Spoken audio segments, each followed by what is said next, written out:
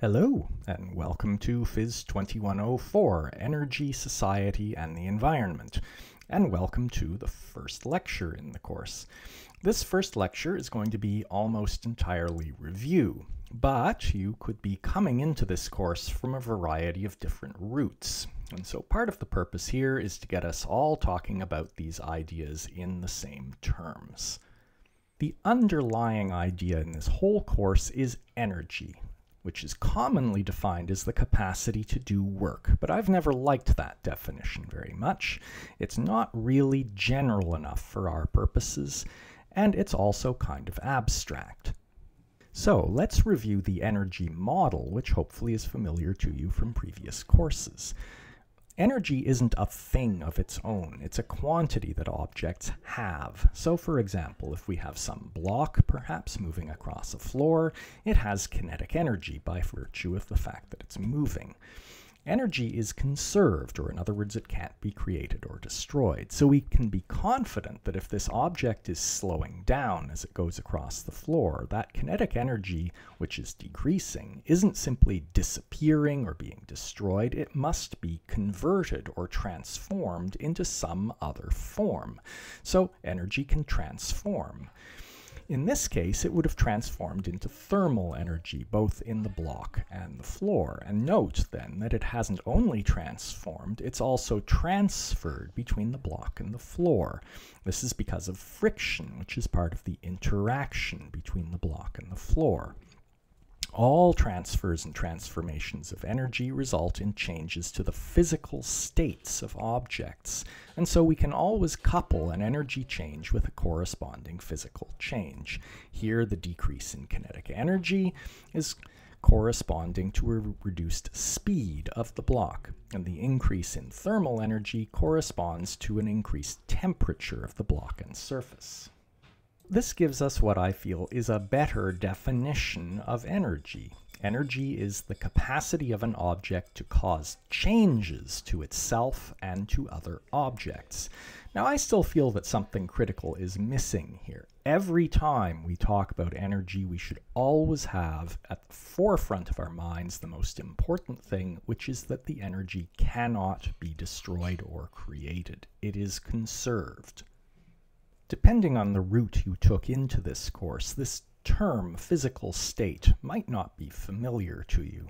Put simply, it is the set of all measurable quantities describing an object. So for example, velocity is part of the state of an object.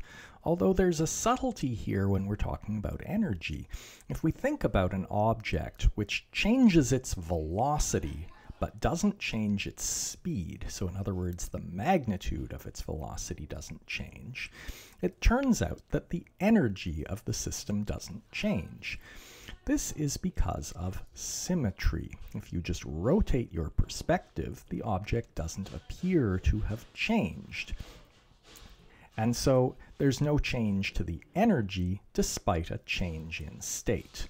So while velocity is part of the physical state, energy only cares about speed. And this gets us to one type of energy, kinetic energy, which is probably the most familiar type, and we have a relationship between the state change in speed and the energy change in kinetic energy.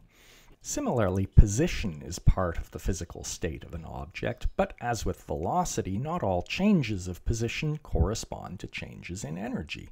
Think about something moving along through the vacuum of space. It'll move at constant velocity, and hopefully you can see that despite the position changing, there are no changes of energy going on here.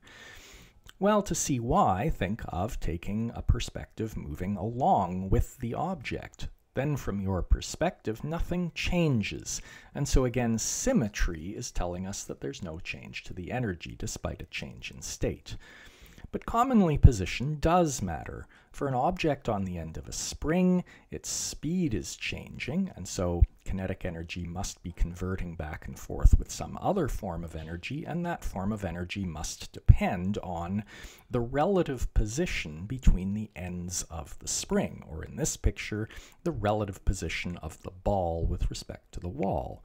Or similarly, if you drop a ball, it speeds up as it goes down, and so there must be some exchange between the kinetic energy and a form of energy that depends on the relative position of the ball relative to the floor.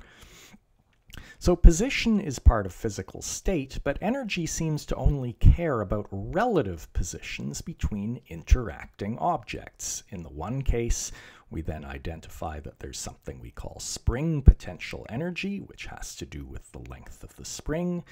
And in the other case, we identify that there's something we call gravitational potential energy, which turns out to depend on the height of the ball. So now we can just summarize a bunch of types of changes of physical state, and this is by no means a complete list. Kinetic energy is related to speed of objects, gravitational potential energy is related to heights of objects, spring potential energy is related to shapes of springs, or the relative position of spring ends, thermal energy is related to temperature, chemical energy is related to chemical composition, and so on and so on. So let's check your understanding. Think about a box which starts stationary and begins to slide down a slope, and after going some distance, it's sped up somewhat. And friction is not negligible. So what transformation or transformations of energy are going on in this process?